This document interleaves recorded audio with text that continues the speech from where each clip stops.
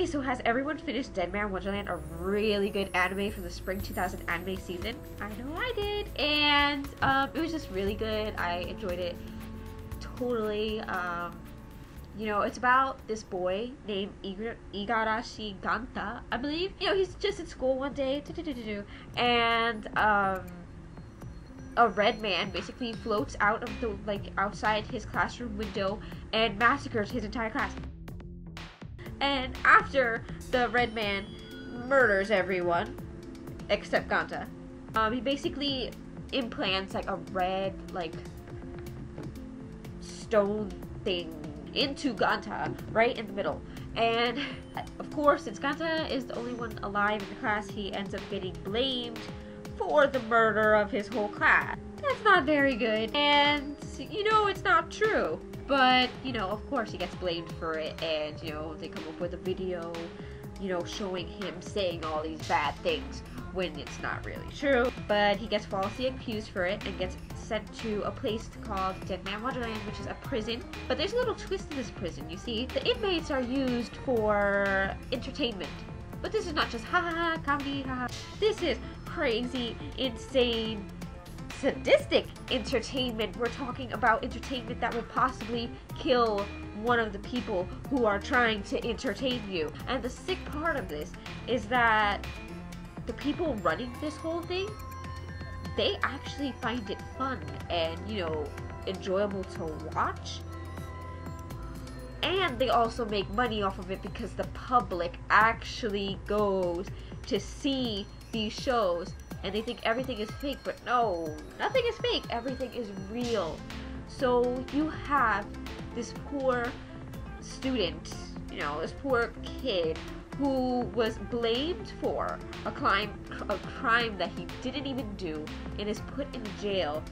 Uh, that is very hostile, and it's just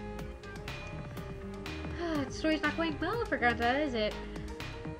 So he meets people along the way, of, co- of course, like Shiro. I love Shiro. She's a very energetic. She's very, you know, she's always cheering for Ganta. She's always saving him whenever he's like in big trouble. She's always there to help him. She's always there to do everything for him. Ganta is crying in every single episode. I don't remember an episode where Ganta is not crying. I don't know how he survived throughout the entire anime. So you sort of think that he's weak. He's not a big kid, you know, he's kind of he's kind of tiny, but you know, it, you know, he ends up learning things while he is there, and he ends up becoming strong, even though he is weak at first. He really does cry a lot. I have to admit, he's crying every single episode, and I get kind of annoyed by that. But uh, when I think, but when I think about that, I'm like.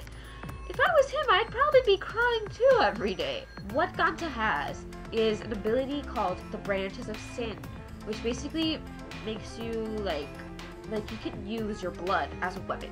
Everyone who has it can use it like differently. Some people can use it as a shield, some people can use it as a whip, some people can use it as a razor. You can use it different ways. So Ganta has like this, you know, you can shoot like like circle spears like out of his hand made out of blood and blah but he's not a character that's very powerful that's all powerful. I've read the manga. You know there are some differences. There are minor differences. You don't meet some people that are in the manga in the anime.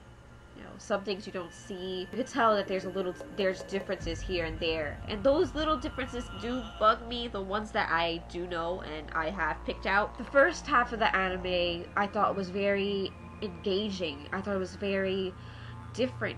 It was something new. It was something very fresh. Just seeing everyone. You know, you're being introduced to this place called Deadman Wonderland. You're seeing the people called Dead Men. You're seeing everything new. Everything's just like, wow.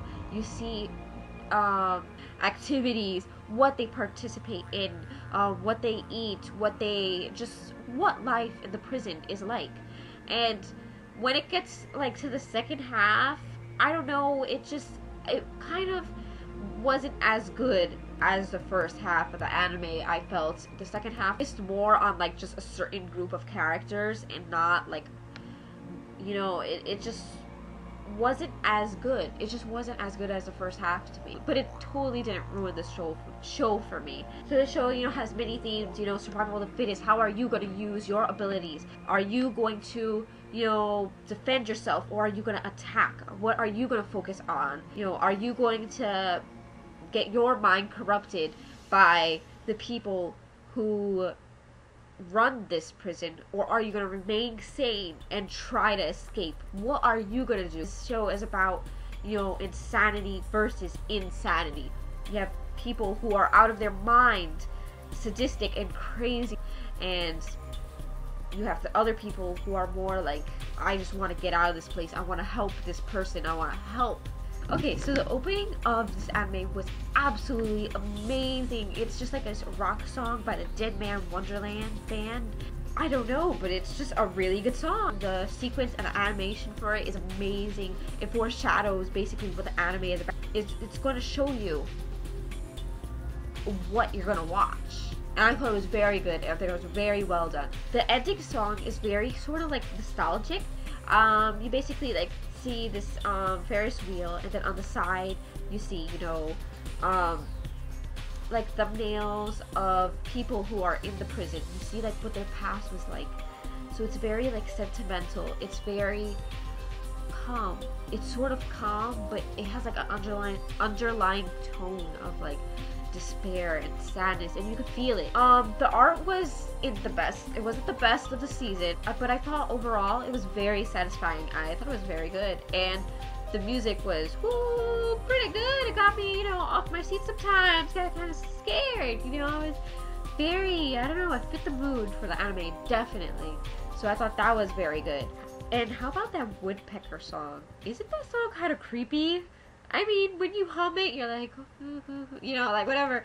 Like it sounds kind of nice, but when you read the lyrics, they're kind of sick. Are they kind of scared? Considering that Ganta's mother made that song, it's. It's kind of suspicious, right? So you're like, something's going on here. Who's Ganta's mother? Who really is Ganta? And who? Who's everyone? Why what's going on in this entire show? These people are just sick or what's going on? So I give this anime an 8 out of 10. That is pretty good. That is actually really good. That's way above average. I recommend it. I do if you like horror, if you like, you know, mystery and intense gore and stuff like that. I definitely recommend it.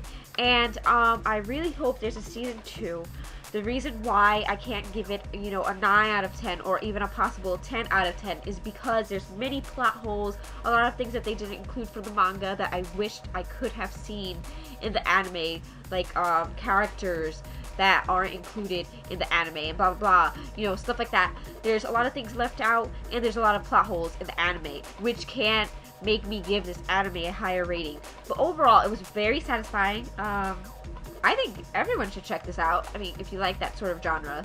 There better be a season two. I'm to be really, really angry if there's a season two. I think a lot of people are to be like, what? Like, how could you end anime like that? You know, you just can't.